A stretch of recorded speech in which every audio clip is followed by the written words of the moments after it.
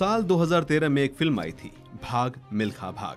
Film का budget मात्र 30 करोड़ का था, लेकिन कमाई 100 करोड़ के पार हुई थी। एक अरसे बाद बॉलीवुड में कोई स्पोर्ट्स ड्रामा फ़िल्म बनी थी, लिहाजा लोगों ने दिल से स्वागत किया। साथ ही हिंदुस्तान में एथलेटिक्स का पर्याय बन चुके मिल्खा सिंह की ज़िंदगी को भी लोगों ने बेहद करीब से जाना। इसके बाद बॉलीवुड में स्पोर्ट्स बायोपिक फ़िल्में बनने का एक ट्रेंड सेट हो गया। कुछ हिट हुई तो कुछ फ्लॉप। लेकिन जिस देश में क्रिकेट को धर्म माना जाता है, वहाँ अन्य खेलों का मैच देखने न सही। लेकिन लोग इसी बहाने अपने स्टार खिलाड़ी को देखने के लिए टिकट काउंटर पर भीड़ ज़रूर लगाने लगे। खैर, सोमवार को फ़िल्म सूरमा का ट्रेलर रिलीज़ हुआ है। ये फ़िल्म भारत के पूर्व कप्तान संदीप सिंह की ज़िंदगी पर आधारित है। दलजीत दोसांझ इस फ़िल्म में संदीप सिंह का रोल निभा रहे हैं। तो वहीं तापसी पन्नू उनकी हरजिंदर कौर, जो कि पत्नी है संदीप सिंह की, इस फ़िल्म में वो भी किरदार निभाती नज़र आएँगी। फ़िल्म में संदीप सिंह का संघर्ष, लगन और भारत का नंबर वन ड्रैग फ्लिकर बनने तक का सफ़र दिखाया गया है। इस फ़िल्म में संदीप सिंह की लव स्टोरी भी देखने को मिलेगी।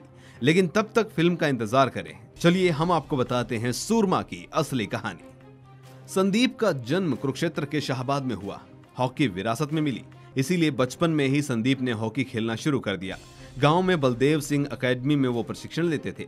संदीप के हॉकी खेलने की एक वजह यह भी थी कि उनकी मोहब्बत हरजिंदर कौर भी उसी एकेडमी में ट्रेनिंग लेती थी। इसके बाद दोनों में नजदीकियाँ बढ़ने लगी।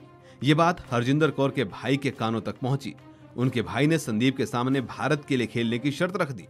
हरजिंदर कौर के भाई के मुताबिक अगर संदीप भारतीय टीम में सिलेक्ट होते हैं तो वे खुशी खुशी अपनी बहन का हाथ संदीप के हाथों में रख देंगे। इसके बाद अपनी मोहब्बत को पाने के लिए संदीप सिंह ने दिन रात मेहनत की।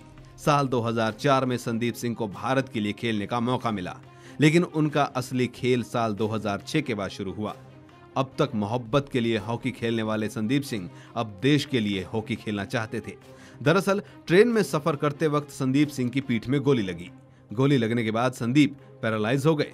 दो साल तक वो मैदान पर नहीं आए। ऐसा वक्त जब संदीप सब कुछ हो चुका था, लेकिन उसके पास थी हिम्मत। क्योंकि हॉकी में सारा खेल पीठ पर निर्भर करता है, खिलाड़ियों को झुककर खेलना होता है।